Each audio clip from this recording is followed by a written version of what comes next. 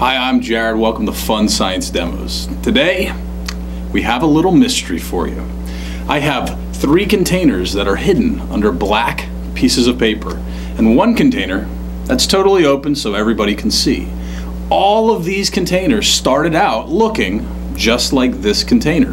They had layers of soil, sand, soil, sand, soil, sand, all the way up from top to bottom. After I had my students set up these containers, I had them add a certain type of animal that always lives in the soil. That's the mystery. What animal are we talking about? After my students added those animals to each container, we covered each container in black paper and we let science happen. And three weeks later, this is what we found. Remember, each container started out looking like this. A layer of soil, a layer of sand. Soil, sand, soil, sand. Let's see what they look like now. Let's zoom in and take a closer look and see what is going on. So what do you notice? Each container started out looking like this, and now they look like this. The sand and the soil is totally mixed together. So what animal could possibly do all that mixing?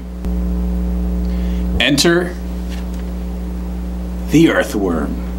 This little guy is the big idea today. And this little guy did all of this work digging and mixing that soil. So why is all this mixing so important? Why is the earthworm so important? Earthworms live in the soil. It's where they get their food and their shelter. But what else lives in the soil? Plants do. Plant roots reach deep down into the soil. And what do plants need to live? Water and air.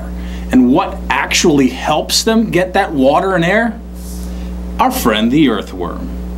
Earthworms dig and tunnel deep down into the soil. Take a look at this tunnel right here. What does that tunnel do? Well, it allows air and water to get deep down into the soil so those plant roots can get to that air and soil. This is such a simple setup.